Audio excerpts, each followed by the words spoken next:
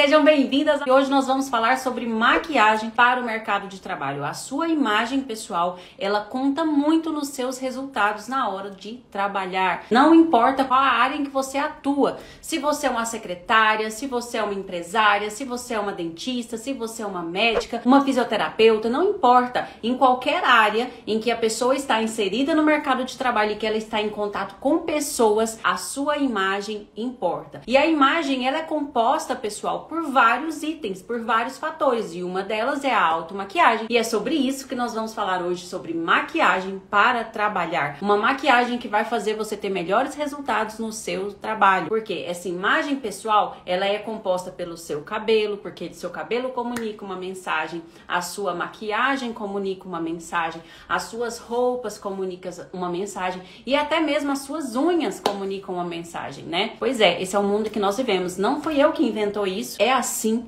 E se você está no mercado de trabalho e se almeja crescer na vida, você precisa estar de olho na sua imagem. O que que a sua imagem hoje no mercado de trabalho, onde você trabalha, seja qual for a área, está transmitindo. Vamos começar então de fato a maquiagem. Eu expliquei agora o porquê que vocês devem sim se maquiar para trabalhar e eu já tô com a minha pele limpa. Então, vou fazer uma maquiagem como se fosse de manhã, tá? De manhã acordei, primeira coisa que eu faço, já lavo o rosto. Vamos começar lá, tô escovando os dentes, lavei a pele e tal. Agora eu vou começar a maquiagem. Vamos tentar fazer de forma rápida, que eu quero mostrar para vocês que é rápido, tá? E que faz total diferença. A lá tá falando que o filho dela fala que ela tá linda quando ela faz maquiagem. Pois é, porque criança vê também, gente.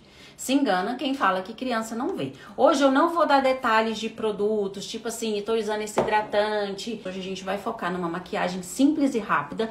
E eu tô passando um hidratante. Qual hidratante? O seu. Eu tô um pouquinho bronzeada, né? Minhas bases estão todas claras pra mim. Então eu passei um hidratante, tá? E aí o hidratante já absorveu, a gente já faz aquela massagem para desinchar o rosto, daquela dormida, né? E agora nós vamos já para o, o protetor solar. Por quê?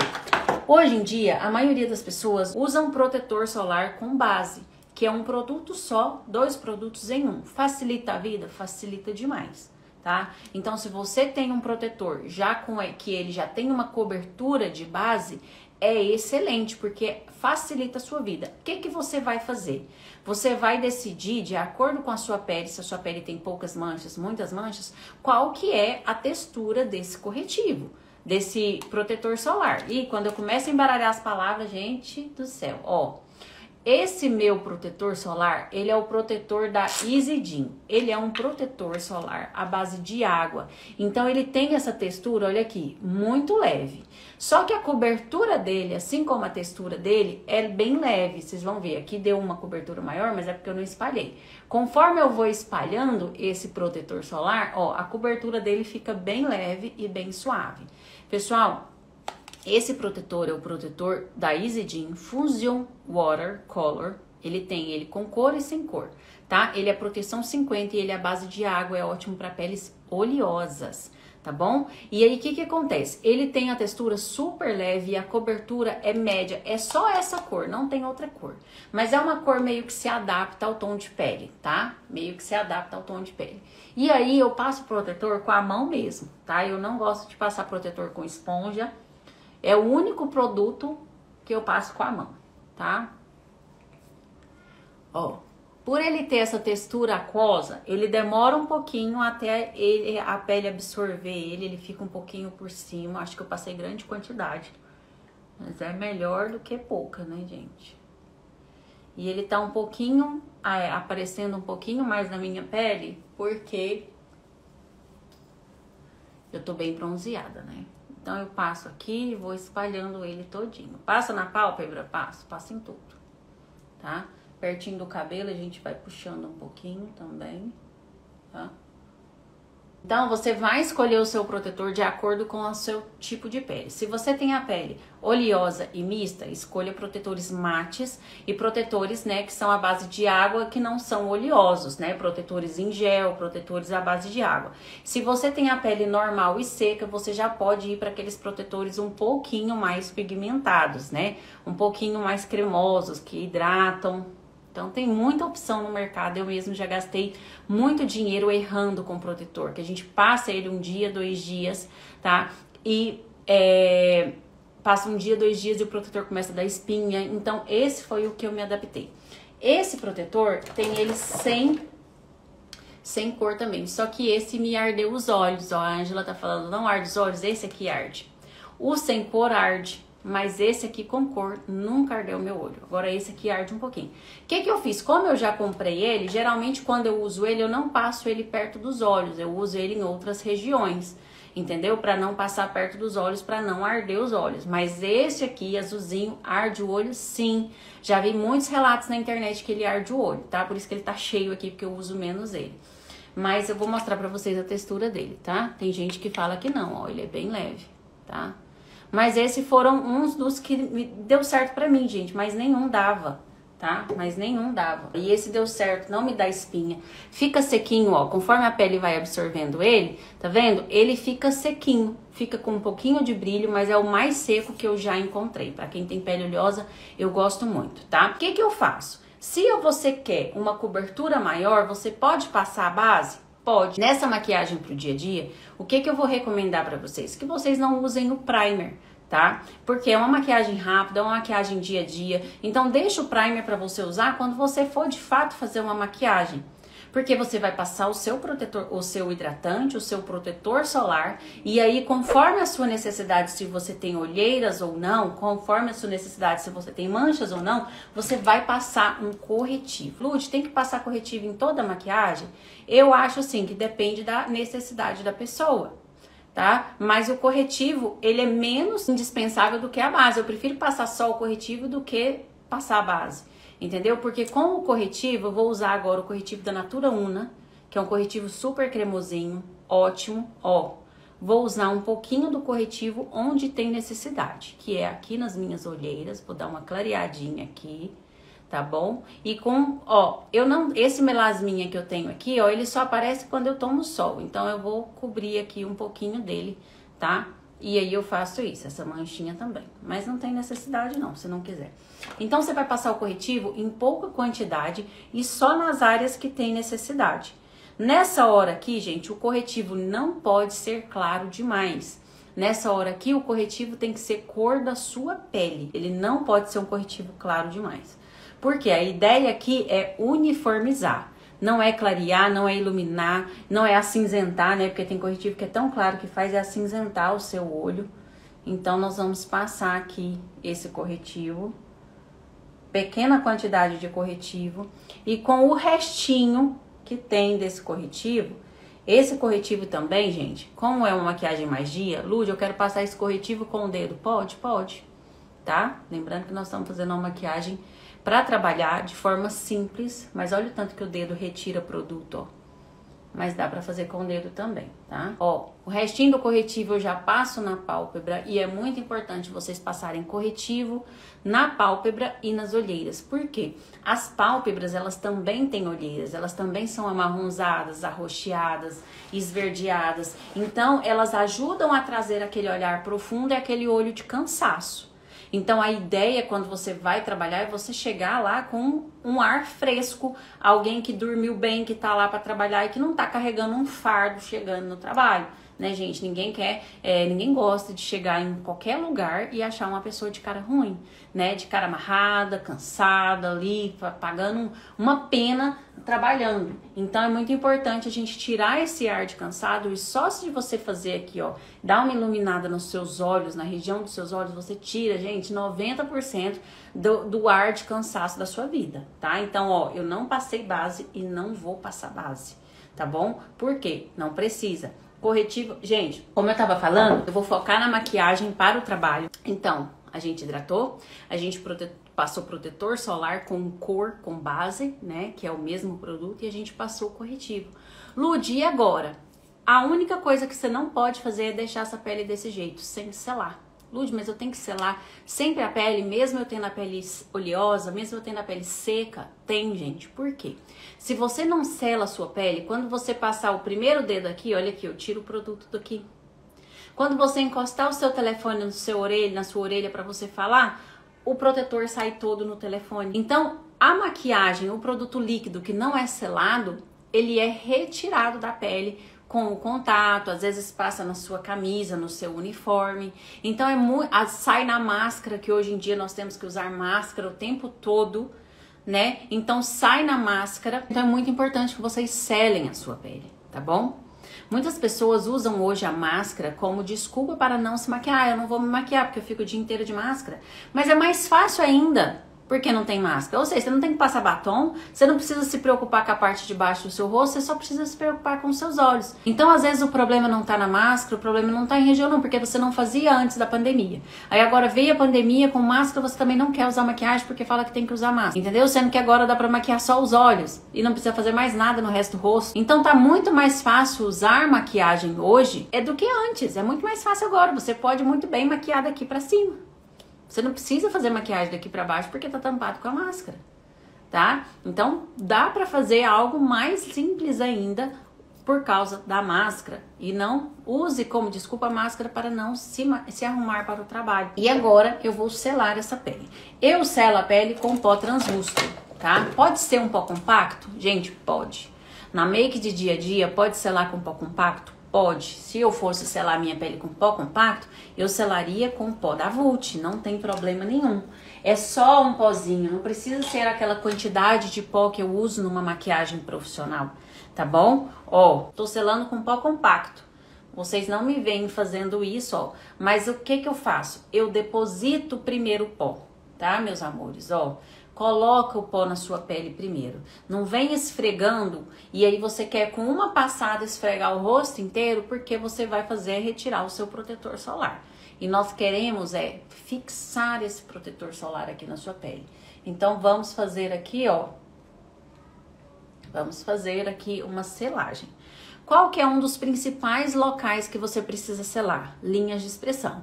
Gente, eu conheço vocês, eu converso com muita gente aqui pelo Instagram e a maioria de vocês tem entre 25 a 45 anos até 55. E eu sei que quando a gente já tá nessa fase, a gente começa a ter essas linhas de expressão.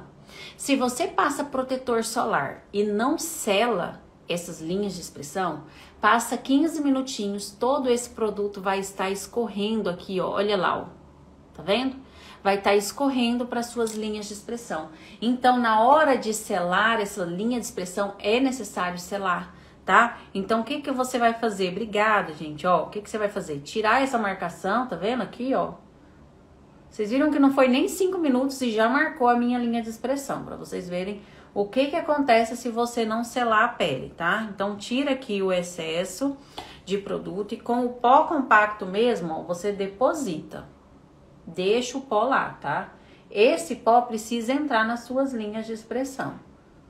Ó. Tá vendo? E depois que eu já apliquei o pó, que eu posso sim passar esse pincel de forma geral, ó. Então, vocês entenderam a questão de aplicar o pó? Em vez de vocês pegarem isso aqui, começarem a fazer assim aplicar o pó, que eu sei que a maioria faz de forma bem rápida, pega o pó e aplica na sua pele, ó, com batidinhas. Pega, tá aqui o pó, ó, tá vendo? Aplica na pele e vai aplicando, ó. Tá vendo? Depois que você aplicou o pó em toda a sua pele, que ele realmente, ó, a pele tá sequinha, outra vida, gente.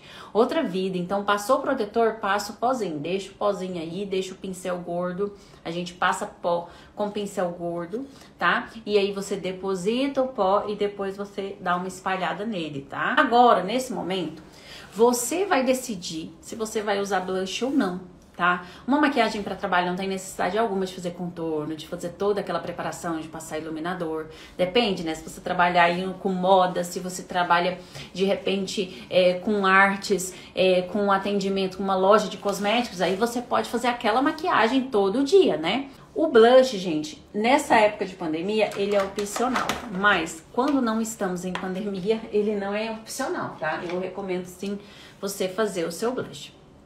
Hoje, gente, muitos dos, dos tipos de trabalho, a maioria dos tipos de trabalho, ele está muito online também. Quer ver um? Até médico, hoje em dia, ele precisa estar no digital, porque as pessoas estão no digital, as pessoas estão no celular.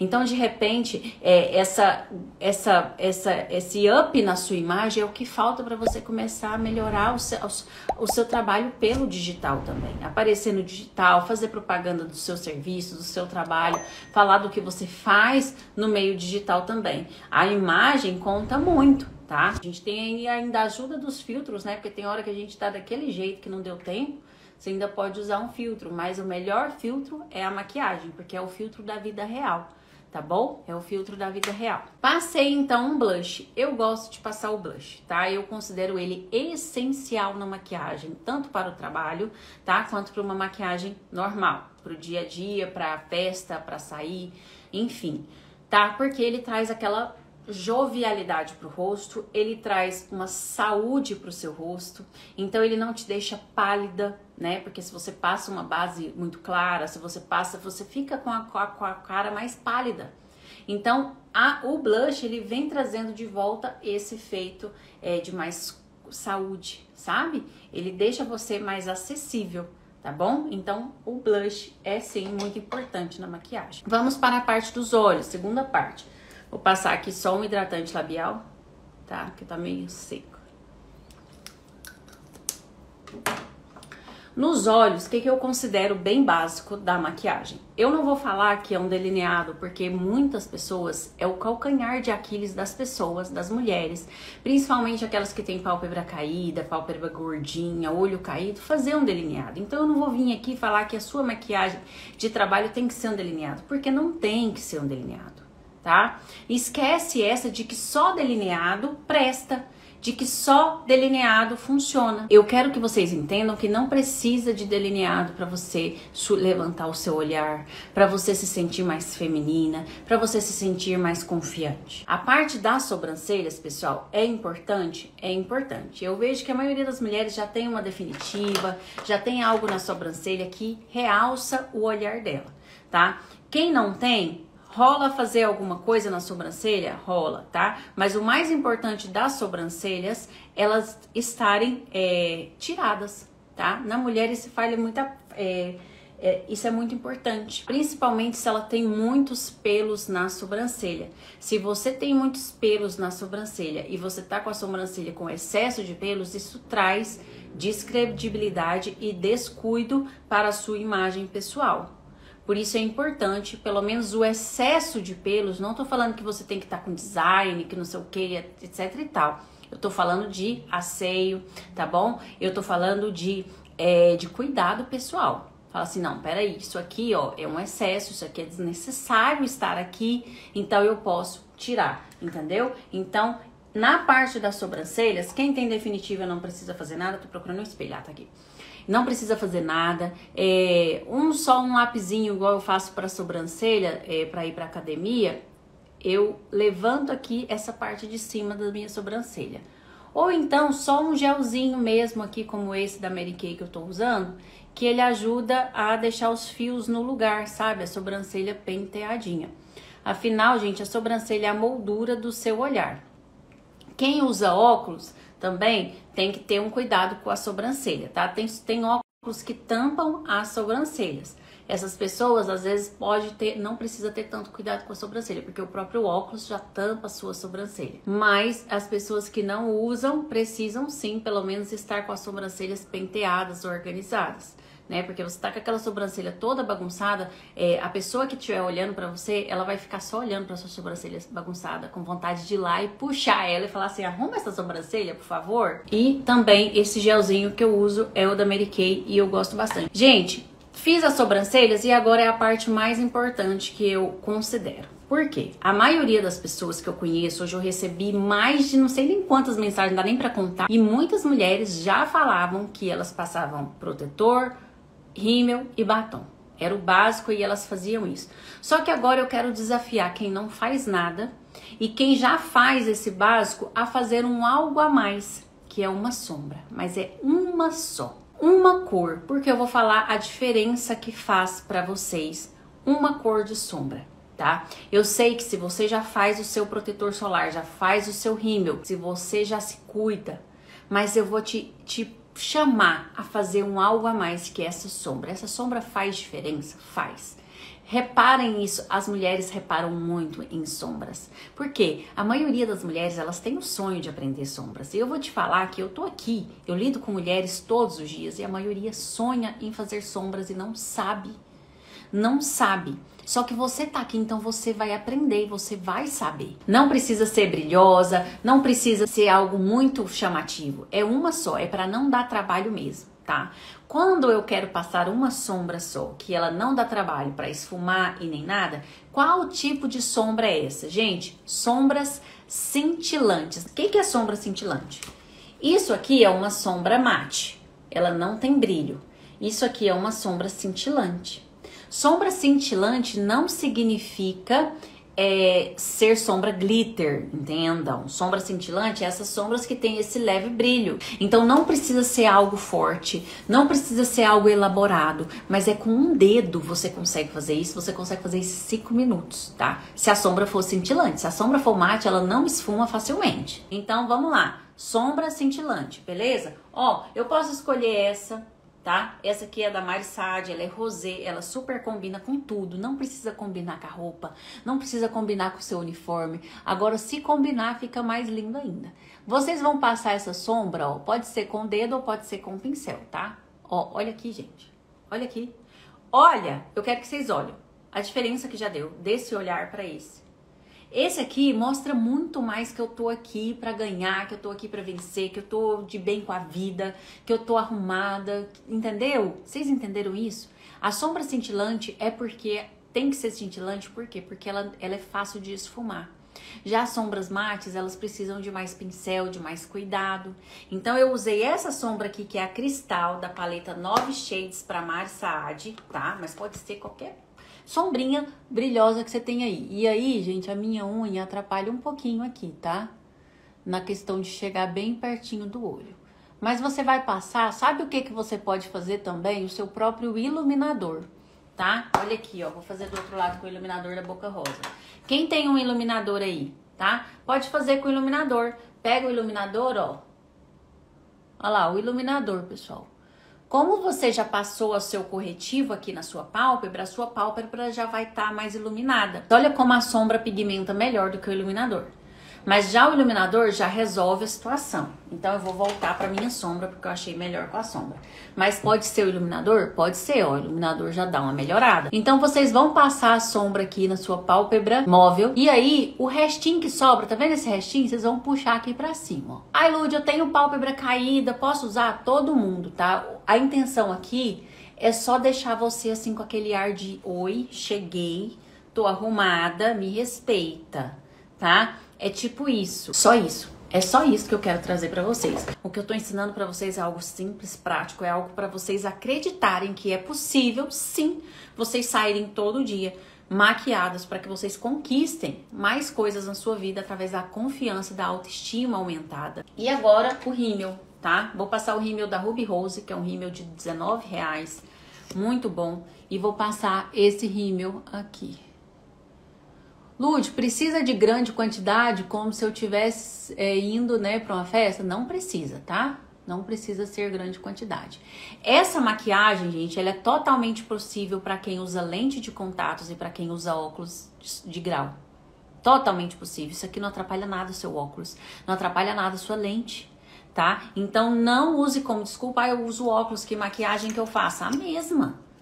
Quem usa óculos só tem que tomar cuidado com a maquiagem, gente, na questão do cílio postiço não ser grande demais para ficar lá encostando nos cílios. Mas se você usar óculos, você pode fazer qualquer maquiagem. Então eu passo aqui uma máscara para cílios, eu não passo embaixo, porque pode escorrer.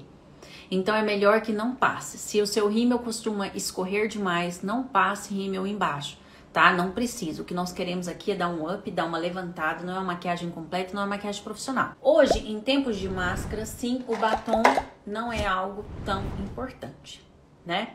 Porque nós estamos todas aí com o rosto tampado.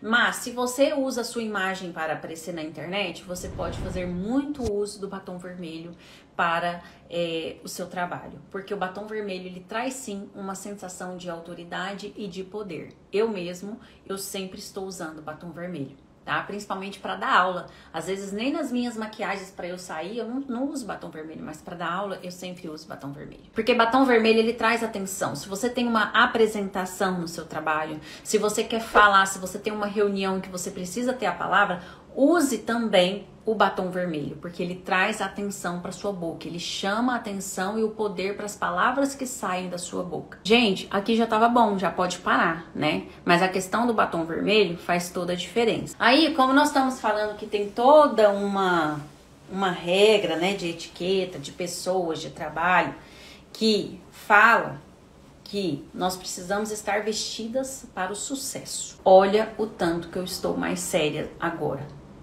porque eu prendi meu cabelo, eu pus ele para trás. Então agora nessa mensagem eu tô transmitindo mais seriedade, tô transmitindo até parece que eu tô até mais rica, né? Então tudo isso, gente, ele é, são fatores que cooperam para o seu sucesso, que cooperam para o seu crescimento, tá? Tanto interno quanto externo no mundo afora. Então, faça isso, utilize disso, porque não é difícil, basta você ter o conhecimento e a boa vontade, a motivação tá bom? Então, use isso a seu favor também. Use a sua imagem, use a maquiagem para trabalhar. Não precisa de muita coisa. Dá para fazer em 5, 7 minutinhos. Isso que eu fiz. Um grande beijo no coração de vocês. Tchau, tchau.